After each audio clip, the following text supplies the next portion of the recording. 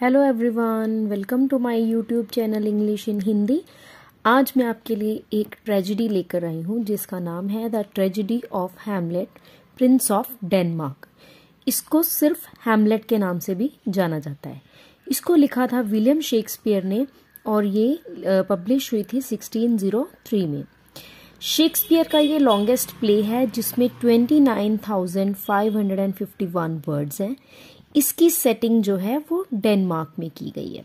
इसके जो कैरेक्टर्स हैं, वो है प्रिंस हैमलेट जो कि सन है of the late king Claudius uncle of Hamlet king of Denmark now he is the present king of Denmark Gertrude queen of Denmark and Hamlet's mother Polonius chief counsellor to the king Ophelia Polonius daughter Horatio friend of Hamlet Laertes Polonius son king Hamlet जो होते हैं, उनके मरने के बाद Claudius जो है king Hamlet का ब्रदर गर्ट्रूड यानी कि अपनी भाभी से वो शादी कर लेता है और क्राउन हासिल कर लेता है।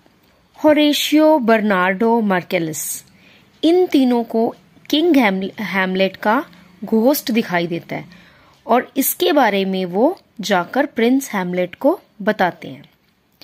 ओफेलिया जो है, पोलोनियस की बेटी, वो प्रिंस हैमलेट से प्यार करती है। क्लॉडियस, गर्ट्रूड और पोलोनियस, ये तीनों स्टेट अफेयर्स डिस्कस कर रहे होते हैं। और क्लॉडियस जो है, देखता है कि हैमलेट सैड है और उसके लिए वो उसको डांट लगाता है कि तुम अपने फादर की डेथ के बारे में अब सब कुछ भूल जाओ, अपने फादर को तुम भूल जाओ और इस चीज़ से बाहर निकलो अब। इधर होरेशियो आकर हैमलेट को उस घोस्ट के बारे में बताता है। हैमलेट जो है, वो जाता है उस घोस्ट को देखने के लिए। घोस्ट जो, जैसे मैंने आपको पहले बताया कि वो जो घोस्ट है, वो किंग हैमलेट का होता है।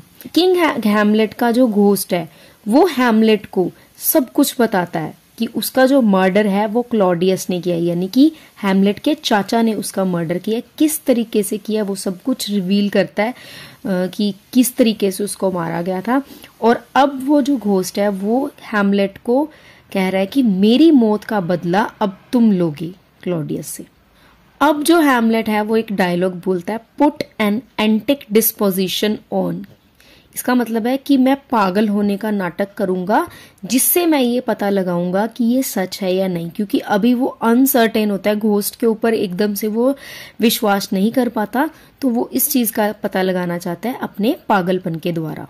ओफेलिया पोलोनियस को बताती है कि हैमलेट उनके घर के दरवाजे के बाहर खड़ा है और वो हाफ़ नेक्ड है। पोलोनियस इसके बारे में क्लोडियस और गर्ड्रूड को बताता है और वो सोचते हैं कि हैमलेट पागल हो गया है या क्या हो रहा है उसको। क्लोडियस और गर्ट्रूड हैमलेट के दो फ्रेंड्स रोजन क्रैंड्स और गिल्डन गिल्डनस्टन को बुलाते हैं।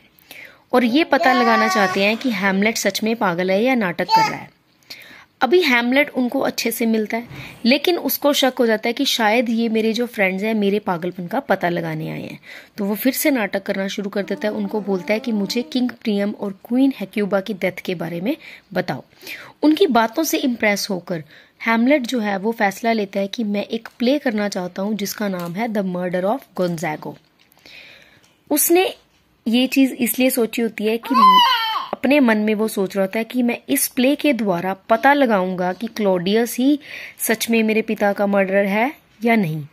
तो वो उस प्ले में कुछ ऐसा करना चाहता है कि जिस तरीके से घोस्ट ने हैमलेट को उसके मर्डर के बारे में बताया था तो वो सेम चीज़ जो है वो प्ले में फीचर करना चाहता है कि उसके फादर का मर्डर किस तरीके से हुआ था। पोलोनियस ओफेलिया को बोलता है कि तुम अपने सारे लव लेटर्स जो है वो हैमलेट को रिटर्न कर दो।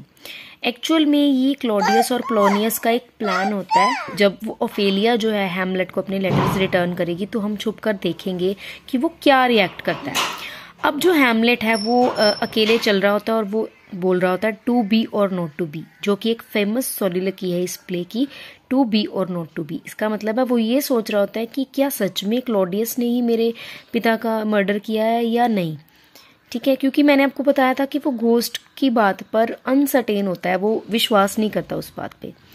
अभी ओफेलिया जो है हेमलेट के पास जाती है और उसको सारे लव लेटर्स जो है, वो रिटर्न करती है और वो बोलता है, गुस्से में गेट दी टू अ ननरी तो इस चीज़ को क्लोडियस और पोलोनियस छुप कर देख रहे होते हैं और उनको ये पता चलता है कि he is not mad for love means कि उसका जो रिएक्शन है, वो बिल्कुल सही था इस चीज़ को लेकर कि ओफेलिया ने लेटर्स रिटर्न किए, उसको गुस्सा आया। मीन्स कि उसका रिएक्शन जो है, वो गलत नहीं था। मीन्स कि वो पागल नहीं है। Now all set for the play the murder of Gonzago इसमें एक प्लेयर किंग होता है और एक राइवल होता है। जो राइवल होता है, वो प्लेयर किंग के कान में पॉइजन डाल देता है। जैसा कि सीम किया था क्लॉडियस ने किंग हैमलेट के साथ। जब क्लोडियस इस सीन को देखता है, वो वहाँ से शर्म के मारे उठकर चला जाता है। और जिससे जो हैमलेट है, वो बिल्कुल श्योर हो जाता है कि क्लोडियस ने ही किंग हैमलेट का मर्डर किया है। प्ले को देखने के बाद गर्ट्रूड जो है, वो हैमलेट को अपने रूम में बुलाती है। जब वो गटरूड के रूम में जा रहा होता है तो रास्ते में वो देखता है क्लॉडियस को, और वो उसको मार देना चाहता है, लेकिन वो उसको तब नहीं मारता क्योंकि वो उस समय प्रेयर कर रहा होता है। वो ये सोचता है कि अगर मैं क्लॉडियस को अभी मार दूँगा तो ये हेवन में जाएगा। तो गर्ट्रूड और हैमलेट उसके रूम में झगड़ते हैं, और कर्टन के पीछे पोलोनियस छुपा होता है, और वो एकदम से ज़ोर से बोलता है, हेल्प। हैमलेट जो है, वो जब ये आवाज़ सुनता है हेल्प की तो वो बिना देखे ही कर्टन को उठाए, बिना ही वो चाकू से पोलोनियस को मार देता है। और जब वो बाद में देखता है कि मैंने गलती से क्लोडियस की बजाय मैंने पोलोनियस को मारा है, क्योंकि उसको ऐसे लगता है कि कर्टन के पीछे शायद क्लोडियस छुपा हुआ है तो वो गलती से पोलोनियस को मार देता है और वो बहुत पछताता है इस चीज़ के लिए। इधर क्लोडियस जो है वो अपनी डेथ से डर रहा होता है कि हैमलेट किसी दिन शायद मुझे भी मार सकता है। तो वो रोजन क्रैंड्स और गिल्डन स्टन को एक लेटर सील्ड लेटर देता है और हैमलेट को उनके साथ इंग्लैंड भेज देता है। उस सील्ड लेटर में ये मेंशन किया जाता है। उस सील्ड लेटर में वो इंग्लिश किंग को बोलता है कि हैमलेट को इमीजिएटली एग्जीक्यूट कर दिया जाए। इधर लेटस जो है, पोलोनियस का बेटा, वो वापस आ जाता है फ्रांस से। जब उसको ये पता चलता है कि मेरे पिता का खून हो चुका है तो वो वापस आता है तो क्लोडियस उसको सब कुछ बता देता है कि हैमलेट ने ही तुम्हारे पिता का खून किया है। उसी समय हैमलेट का एक लेटर आता है क्लोडियस को, जिसमें वो मेंशन करता है कि मैं वापस आ रहा हूँ। अब जब क्लोडियस को हैमलेट की रिटर्न के बारे में पता चल जाता है कि हैमलेट जो है, वो डेनमार्क वापस आ रहा है।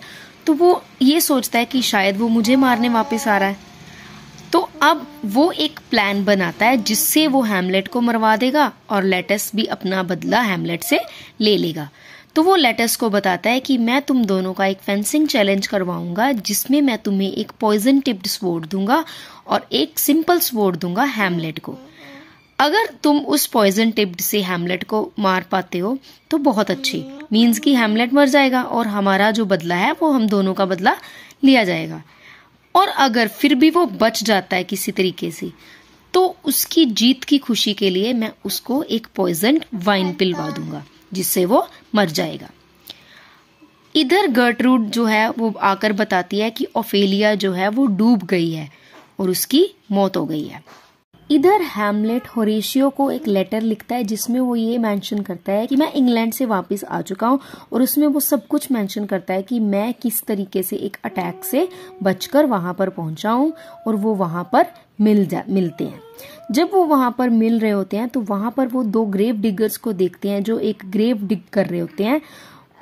उसके बाद वो वहाँ पर लेटस को देखते हैं और हैमलेट को तब पता चलता है कि वो जो ग्रेव डिगर्स हैं वो ओफेलिया की ग्रेव डिग कर रहे थे। उसको पता चलता है कि ओफेलिया जो है मर चुकी है।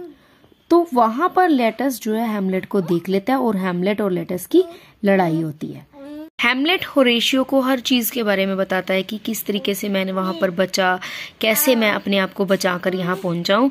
तो वहाँ पर ऑस्ट्रिक नाम का एक कॉटियर आके हैमलेट को फेंसिंग चैलेंज के बारे में बताता है। होरेशियो जो है, वो हैमलेट को बहुत रोकता है कि तुम इस हैंसिंग चैलेंज के लिए मना कर दो, लेकिन हैमलेट जो है, वो बिल्कुल नहीं सुनता। हैमलेट और लेटस का चैलेंज जैसे ही शुरू होता है तो लेटस जो है, वो अपने पॉइजन ब्लेड से हैमलेट को स्लैश कर देता है। अब लड़ते लड़ते जो उनकी जो स्वर्ड्स हैं, वो स्विच हो जाती हैं, बदल जाती हैं। और हैमलेट भी लेटस को पॉइजन ब्लेड से कर देता है। इधर गर्टरूड वो पॉइजन वाइन गलती से पी लेती है और वो मर जाती है। अभी जब लेटस मर रहा होता है पॉइजन का असर उस पर स्टार्ट हो जाता है तो वो मरते मरते हैमलेट को सारा प्लान बता देता है क्लोडियस का कि कैसे क्लोडियस तुम्हें मारना चाहता है और हैमलेट जो है वो क्लोडियस को मार देता है। अभी पॉइजन का जो असर है, वो हैमलेट पर भी शुरू हो रहा होता है और मरते मरते होरेशियो को बताता है कि फोर्टिन ब्रास जो है, वो इस एरिया में आ रहा है हमला करने के लिए। तुम जो है, उसको सब चीज़ के बारे में बताना कि यहाँ पर सब कैसे मरे हैं। होरेशियो कहता है कि मैं भी जो पॉइजन वाइन है, मैं वो पीकर मरना चाहता हूँ, लेकिन हेमलेट उसको रोक लेता है और उसकी बाहों में ही वो अपना दम तोड़ देता है और लास्ट में वो मरते मरते ये चीज़ बोलता है द रेस्ट इज़ साइलेंस अब फोर्टिन ब्रास वहाँ पर आता है होरेशियो उसको सब कुछ बताता है कि किस तरीके से यहाँ पर सबकी डेथ हो गई है, सब एक दूसरे को मारकर मर चुके हैं और फिर वो एक मिलिट्री फ्यूनरल के लिए ऑर्डर करता है हेमलेट को ऑनर करने के लिए। So this was all about the tragedy the tragedy of Hamlet prince of Denmark I hope you like it